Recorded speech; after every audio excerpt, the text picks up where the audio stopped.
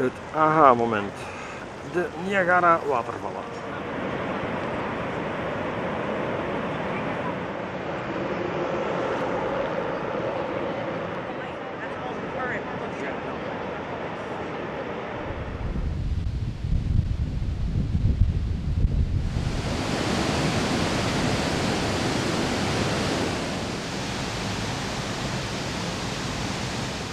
De huismussen in Niagara zijn absoluut niet schuw.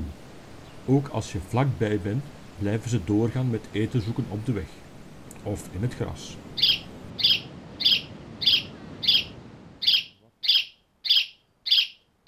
Zelfs na de barbecue vinden ze nog restjes die ze lusten.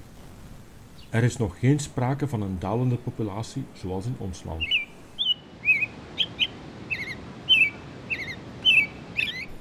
De roodborstlijster gedraagt zich als een merel.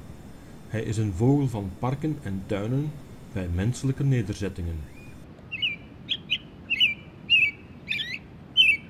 Overdag gaan ze in kleinere groepjes op zoek naar kevers, wormen, fruit en bessen.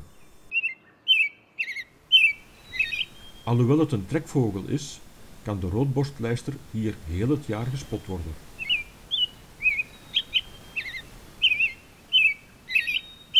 In de zomer zijn het de vogels die in Centraal-Amerika overwinteren.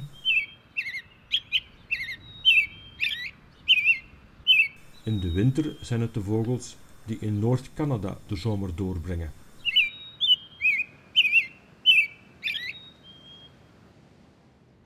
De grijze eekhoorn komt voor in gemengde bossen en parken. Hij komt ook voor in Europa, waar hij de rode eekhoorn verdringt. De Amerikanen noemen hem de oostelijke grijze eekhoorn, om hem te onderscheiden van de westelijke grijze eekhoorn.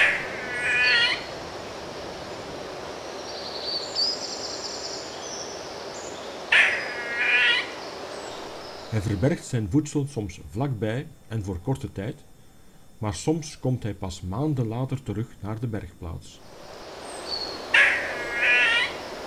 Een eekhoorn heeft per jaar meer dan duizend bergplaatsen en heeft dus een fantastisch ruimtelijk geheugen.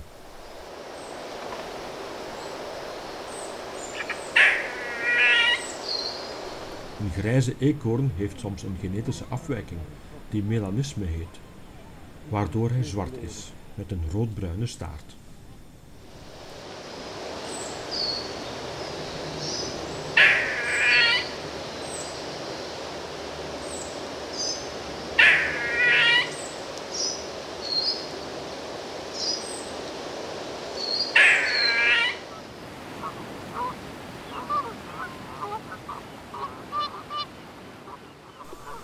De grote Canadese gans heeft een zeer groot verspreidingsgebied in Noord-Amerika. Normaal zijn het trekvogels, maar steeds meer zijn er populaties die gedurende het volledige jaar voldoende voedsel vinden om te blijven. Ganzen grazen aan land, maar ook in het ondiepe water. Ze passen zich vlot aan in omgevingen met menselijke aanwezigheid, waardoor er minder natuurlijke vijanden zijn. Hun aantallen zijn op sommige plaatsen zo sterk gegroeid dat ze als overlast beschouwd worden. Dan wordt er in het jachtseizoen ingegrepen. Als de vogels in de rui zijn en dus niet kunnen vliegen, worden ze ook gevangen.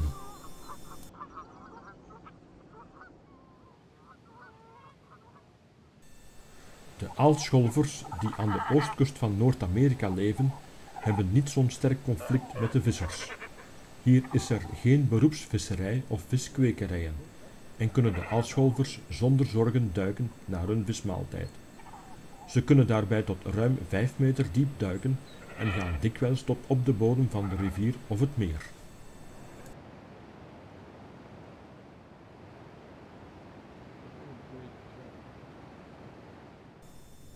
De brulkikker of Amerikaanse stierkikker begint, zoals elke kikker, als dikop.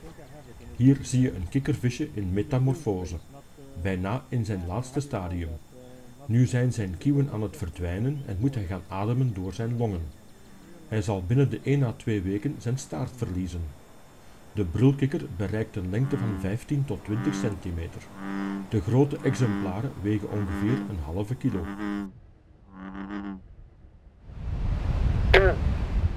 De soort is op verschillende delen in de wereld uitgezet waar de kikker soms een ware plaag vormt. Het vrouwtje legt per keer 10 tot 25.000 eitjes, afhankelijk van haar grootte. Deze kikker wordt veel groter dan de meeste amfibieën en heeft ook andere amfibieën op het menu staan. Hierdoor staat de kikker bekend als een invasieve soort, die een bedreiging vormt voor de inheemse amfibieën. De kikker is zeer vraatzuchtig. De grotere exemplaren slikken kleine vogels en jonge slangen in één keer door. Hij wordt vanwege zijn grote lichaam veel gevangen om het vlees. Door het kweken van de kikker zijn ze in veel landen in het wild terechtgekomen. In ons land werden ze verkocht als vijverdecoratie. Het aquarium van Niagara heeft enkele gewone zeehonden. Sandy is een vrouwtje geboren in 1980.